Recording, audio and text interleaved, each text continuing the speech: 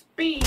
Yo, yo, yo, it's your boy Flamingo Sims. and Jimmy Vegas and Heath Slater and Rhino don't know what they gonna call themselves, but that's who I'm I'm, I'm riding with to win the new SmackDown Championship. If not them, I go for the Hype Bros. They can call themselves the Raiders.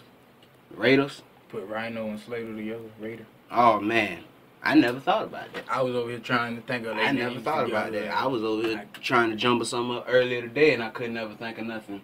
It was it, it- if I wouldn't have thought of how you say Slater, Mhm. I wouldn't have got it. I was like Slater Ada. the Raiders. You know what I'm saying? So yeah, that, that, it But, works. Um, but um, yeah, that's that's that's the team that's I'm the riding team. with. That's, the team. team. Um, because Rhino didn't get make much sure that this first. first belt is gonna be on somebody that ain't gonna let the bitch go in the money. Yeah.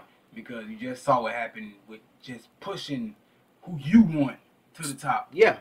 Motherfucker held the belt for 24 hours. He didn't even he didn't even look right as champ. He was hurt during the damn match.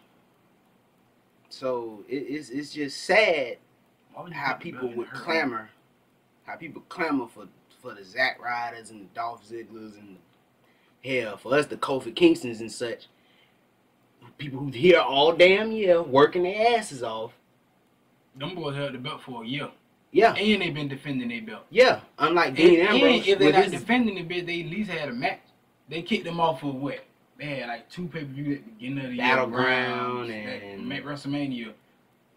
yeah, WrestleMania they made- didn't defend their belts. They made sure that they uh didn't have no So you, you can say what you want. They made sure that those guys didn't have a WrestleMania victory, another SummerSlam victory, and and for what? You know what I'm saying? I understand the SummerSlam one, but what was the WrestleMania about? You know what I'm saying? Y'all know damn well League of Nations wasn't finna become nothing.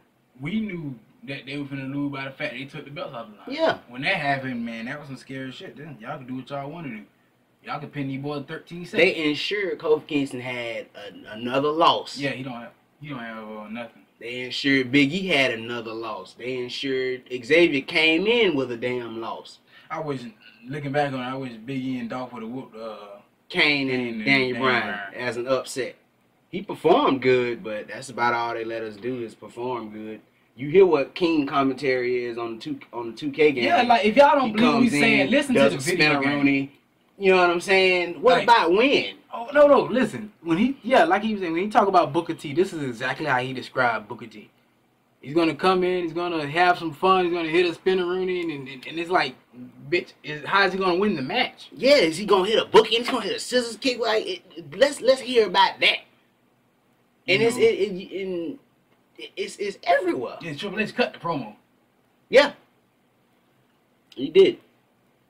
He cut that, that same entertainment promo, so we know they think about it.